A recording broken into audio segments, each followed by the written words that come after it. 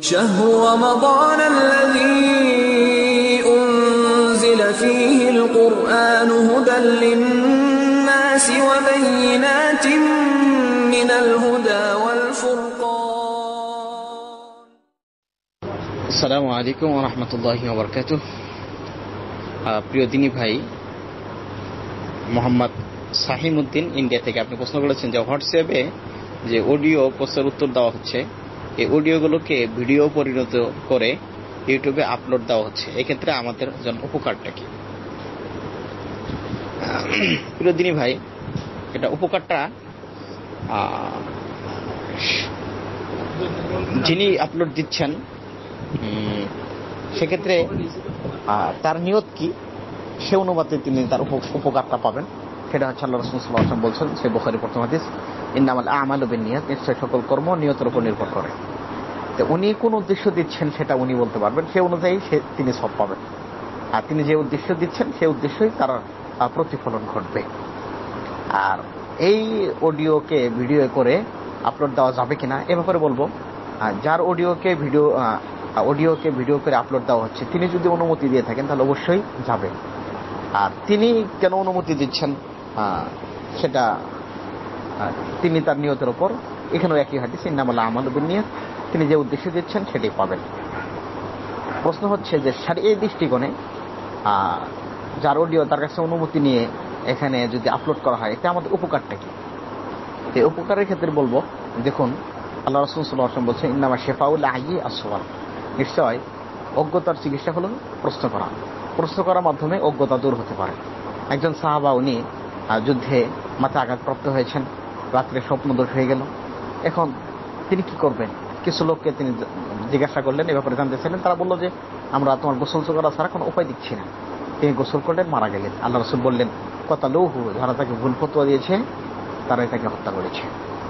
এরপর আল্লাহ রসুল বললেন যে, যারা জানে, কেন সে তাদের কাছে জিজ্ঞাসা করব না? ইন্নামা শেফাউল আইজি আর সোয়াল নিশ্চয় অজ্ঞতার চিকিৎসা হচ্ছে। প্রশ্ন করা। প্রশ্ন করে আপনার জ্ঞানকে শানিত করতে হবে। আপনি যেটা জানেন না, সেটা জানতে হবে। সরা না হলে ষোলো নম্বর সরা সরা না হলে তেতাল্লিশ এবং চুয়াল্লিশ নম্বরে তাল্লাহ বলছেন ফাসা আলু আহ্লা দিক্রি ইং কুম তুমলা তা আলামন বিল বাইকিনাতি ওয়াসুকুর তোমরা যদি না জানো, তাহলে যারা জানে, আহলুদ জিকির জিকির মানে কোরআন এবং হাদিস।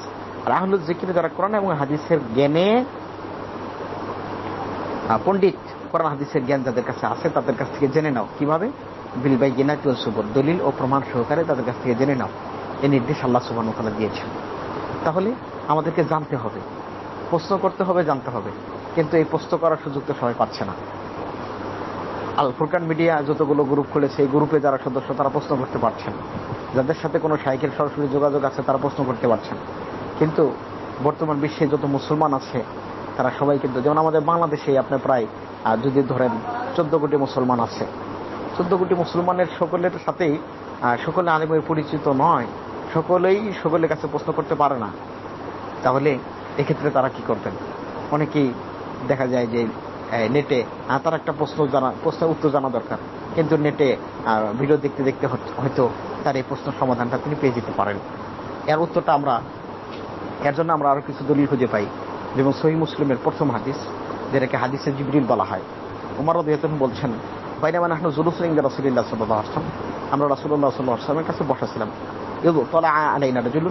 দেখি আমাদের মাঝে একজন লোক আসলো। সাদিদু বায়াজ সিয়াবি তার কাপড়টা একদম ধবধবে সাদা। সাদিদু সাওয়াদি শাড়ি তার চুলগুলো একদম কুচকুচে কালো। লা ইউরা আরিহ সাফারি, উনি যে দূর থেকে সফর করে আসছেন এটা বোঝা যাচ্ছে না। ওলা ইয়া আরিফুহু মিন্না হাদুন, আর আমাদের কেউ তাকে চিনেও না, আশ্চর্য এরকম একজন লোক। এসে ফাসনাদা রূপপাতেই হিলা রূপপাতেই হি তিনি তার হাঁটুর আসলে হাঁটুর সাথে মিশিয়ে মিলিয়ে দিলেন। অবা আলে ফাঁকি দেই এবং তার দুইটা হাতকে নিজের উরুর উপর রাখলেন। রেখে রাসুলকে প্রশ্ন করছেন, আকবরিনী আনিল ইমান হে মোহাম্মদ সাল্লাহ আসলাম আপনি আমাকে ইমান সম্পর্কে সংবাদ দেন। আল্লাহ রসুল তাকে ইমান সম্পর্কে বললেন যে